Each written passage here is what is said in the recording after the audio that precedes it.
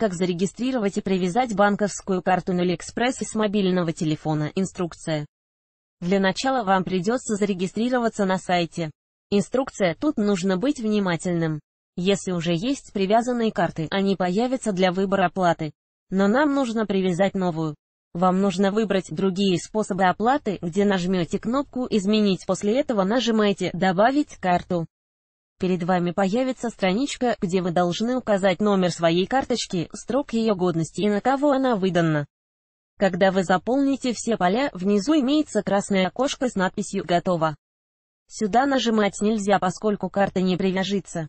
В противном случае вам все время придется заполнять поля и вносить свои платежные данные. После введения реквизитов в правом верхнем углу нажмите голубую клавишу «Готово», что на картинке ниже указано синей стрелкой. Теперь ваша карта привязана. Чтобы закончить действие, подтвердить оплату. Вам на телефон придет смс-уведомление с паролем. Стоит отметить, что присоединить к вашему аккаунту можно множество карт и платежных систем. Все зависит от того, когда и каким образом вам удобно осуществлять оплату. Точно так же можно сохранить несколько карточек. При этом нет необходимости, чтобы на счету были доллары. Расплачивайтесь в той валюте, в которой вам удобно.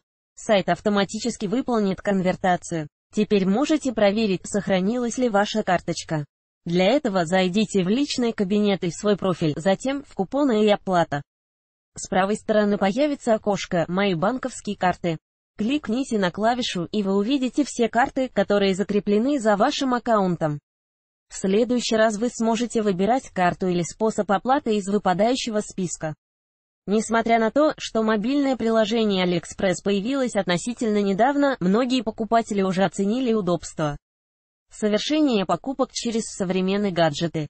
Не тратьте время зря, выбирайте и приобретайте товары в метро или в другом общественном транспорте.